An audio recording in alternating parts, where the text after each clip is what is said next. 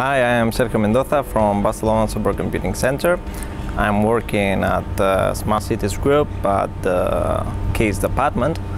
Uh, what we are trying to solve nowadays is um, the problem that exists with the smart cities that there is a huge amount of data available uh, with different formats uh, from different places, different sources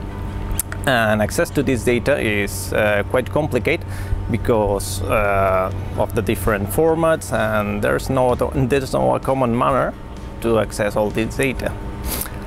Uh, what we are trying to do is to design a semantic layer over all this data and all these different formats from all these different sources uh, to let all the people, uh, not just engineers or scientists, to access this data. Uh, the benefits that this research will bring to the society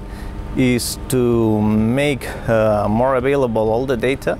and not, restrict, not restricting it just to the people who knows how to treat uh, specific formats that are more oriented to uh, researchers and engineers.